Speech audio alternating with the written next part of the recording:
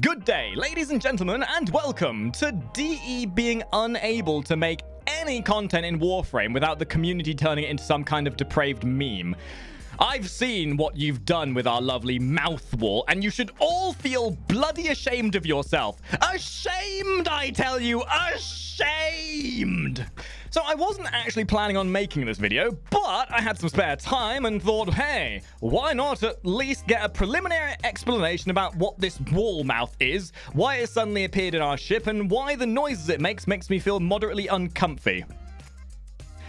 Also, why do I get the sudden urge to say, feed me, Seymour, feed me? anyway. Now, the observant ones amongst you, uh, or the ones who are not blind, may have noticed that the uh, Hemlinth has already kind of moved in, and, well, it's already in your ship. When Deimos does drop, you are going to be able to enter your room without needing a Nidus zit on your neck anymore. And that's because we have our new roomie that's just moved in. The Hemlinth, Helminth, ha, ha, Hemlinth, Hel Helveta, Helm, however you say it. This is an up-and-coming content patch that we will soon be coming with the Heart of Deimos, and lends itself to expanding the mid to late stage of Warframe progression with the ability to donate powers of one frame to another. And in this video in particular, we're going to, as simply as possible, break it down, explain what it is, what it do, whether it'll be worth using, and why on earth I'm mildly aroused by now having lips inside my ship.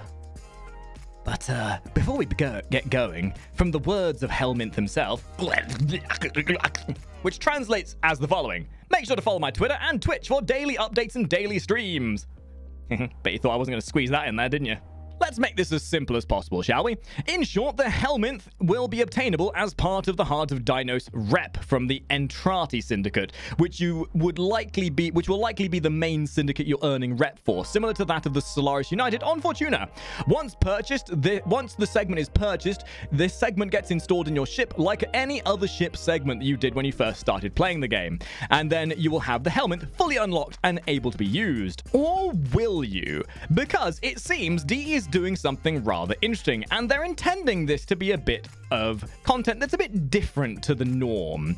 This content will not be usable until you're master rank 15, and really serves as nothing more than a way to satiate your power fantasy, to allow customization in the way you want to play. Now, DE have, have given us the freedom to play how we want, and I can't be more happy with that. And I can't be more happy to see that this kind of change as the purpose of Warframe is a casual one, and having the ability to complete your goals in the way you want really helps that notion of personal fantasy and playstyle.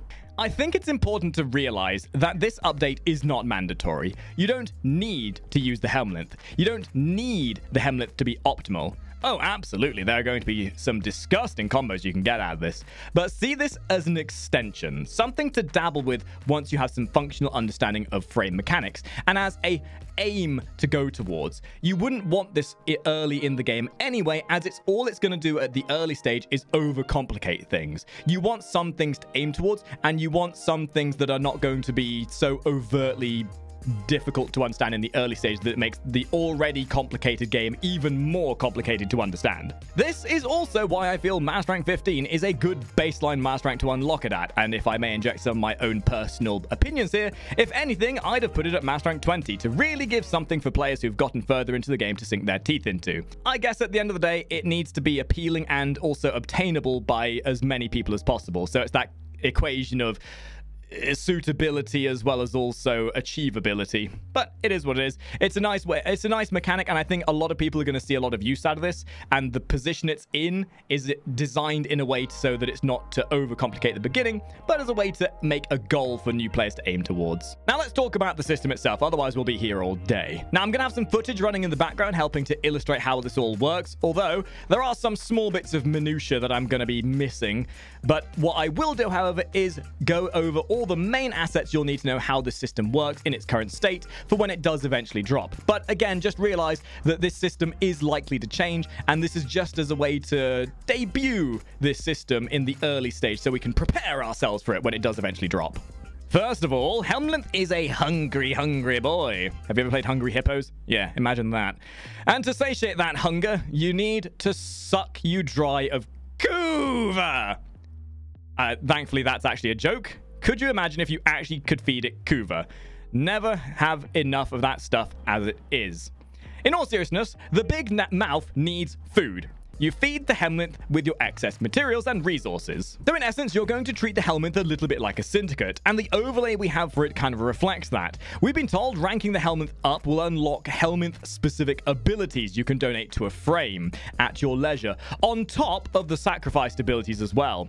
And the higher you go with the system, the funner the system gets. Much like a toddler being told to eat their veggies, the Helminth is also a fussy eater.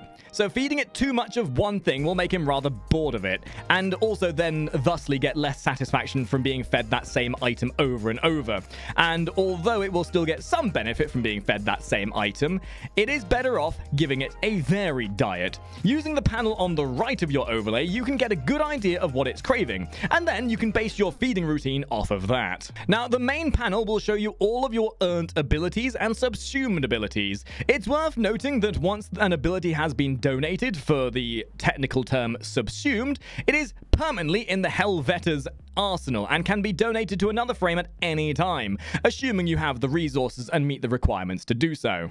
But you may be asking, Makari, how does feeding old Hamilton over here and donating abilities work? Well, this is where things get a little bit little shop of horrors on us. You essentially select a non-prime frame, and that's important to note, a non-prime frame, and you let your ship's wall consume it by selecting the subsume option.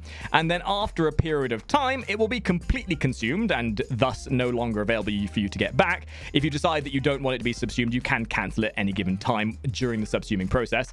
And the chosen ability, which is given to us by DE and will be given a list of later, will be uh, permanently added to the repertoire of Helminth's donatable abilities.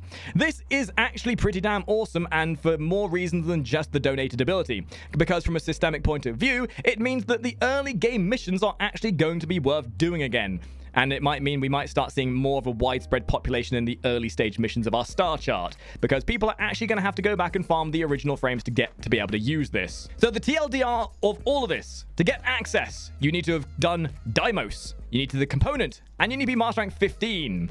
Then, feed the Helvetica to build rep and unlock innate Helminth donatable abilities. Sacrifice frames to donate frame abilities to the pool of abilities you can add to other frames. And vary the food you feed the Helmonth to optimize rep earning. Also, to note is that you can retract these decisions at the touch of a button, and you can also swap between loadouts to have your default set of abilities again. So it's not like if you subsume an ability and equip it to a new frame, you're stuck with it forever. DE have done a good job to emphasize the idea of customization here. Also, also to note, it's one ability per configuration, so no big wappy combo wombos. So this new system isn't necessarily complicated. It may seem so from an outside perspective, but by the time you get to this stage of the game, you likely have some understanding of Warframe's systemic nature and how abilities work. So that sort of level of complexity kind of gets alleviated by the time you get there.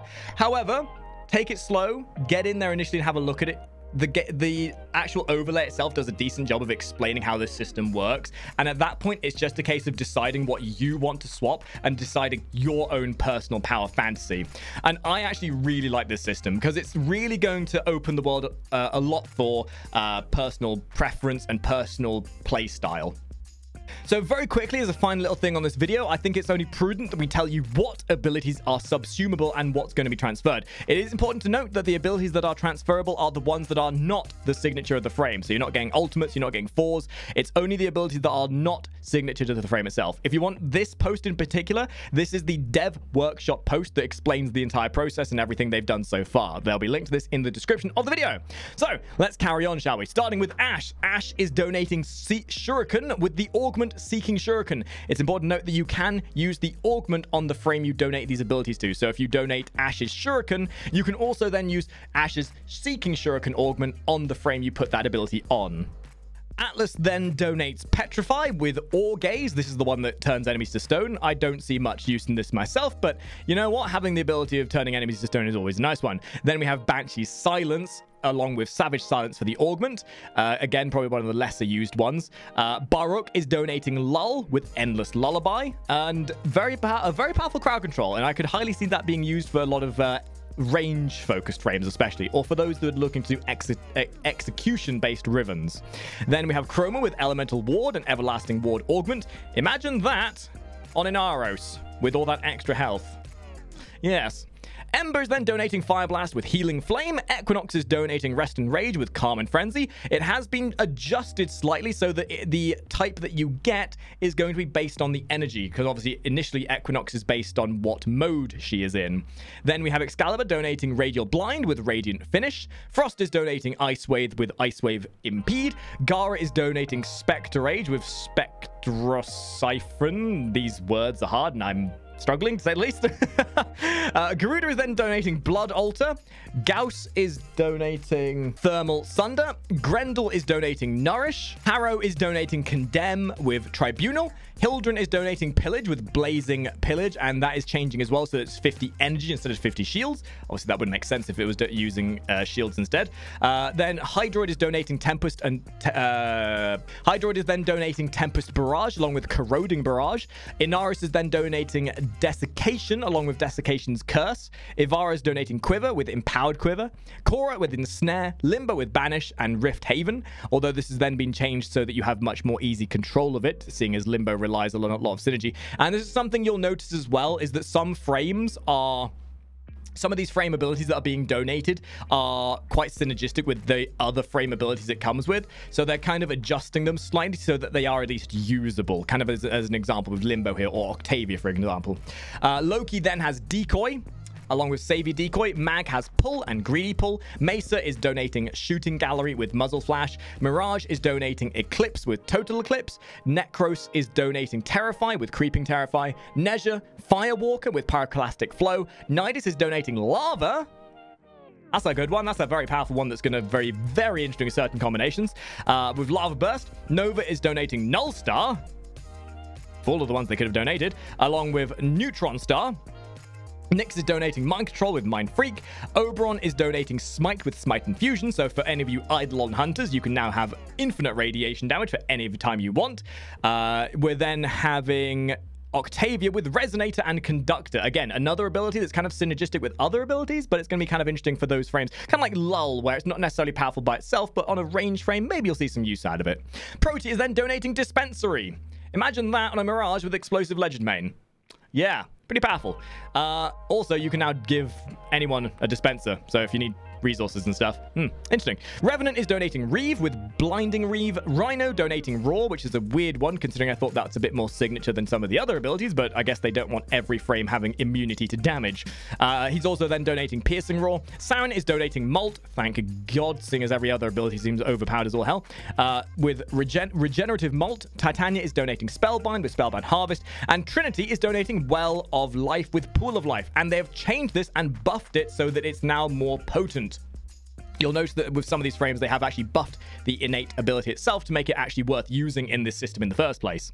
Valkyr is donating Warcry, which in my eyes is one of the most overpowered abilities they could transfer from this entire system in the first place, because in some instances, Warcry becomes stronger than Hysteria. I'm kind of wondering why they didn't do this with Ripline or Terrify, because that would have made more sense, seeing as Warcry is a bit more signature, I guess. I, I either way, there's going to be some, some, very disgusting exalted weapon frames out there now.